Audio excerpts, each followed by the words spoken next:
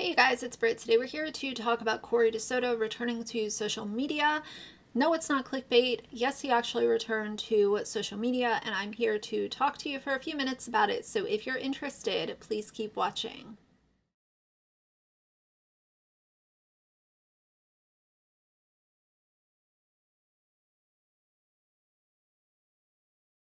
All right, you guys, so I know that Adam McIntyre talked about this, and I wanted to just kind of throw in my thoughts about it.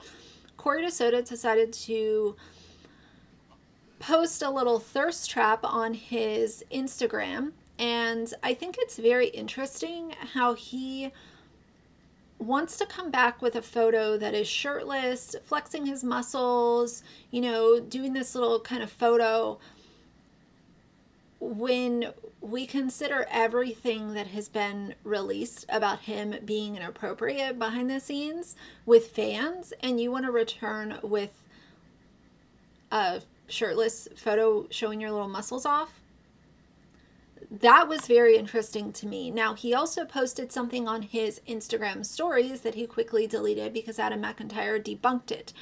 So, obviously, you know, that that claim was going nowhere talking about, oh yeah, they were all over 18.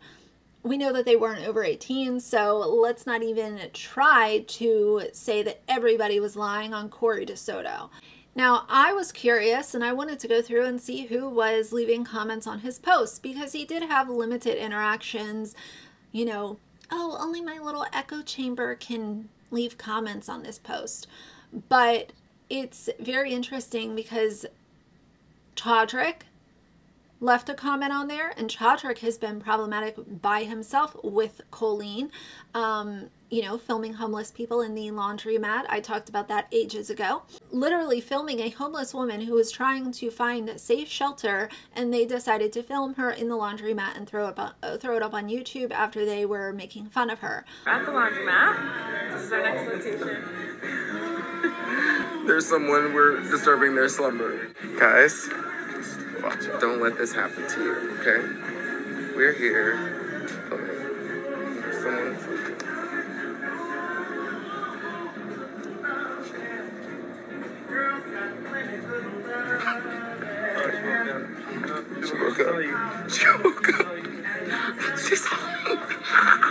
This is so interesting. People on social media play the victim like it is their full-time damn job.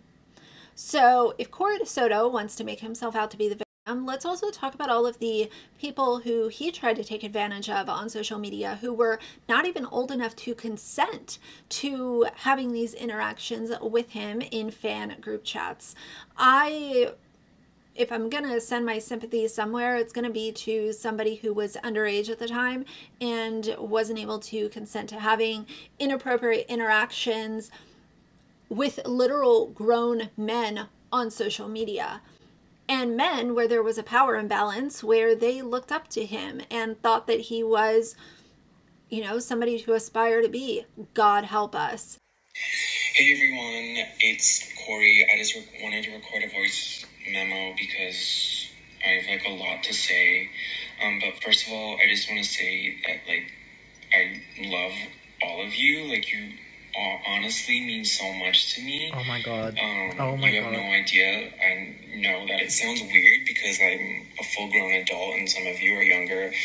Oh my god. and blah blah blah. Oh my but God. um, like I honestly think of all of you like as my best friends. Like I don't have friends. Oh, and God. I'm a loner and I'm a loser. Like my only friend is Colleen. Oh my god. And like I it's so comforting to like go online and talk to you guys and and feel like loved and cared about because I love and care about all of you.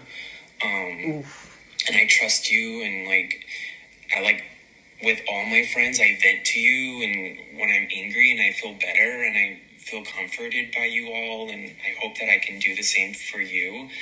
But like this whole thing with Krista is has just escalated into s- something really bad.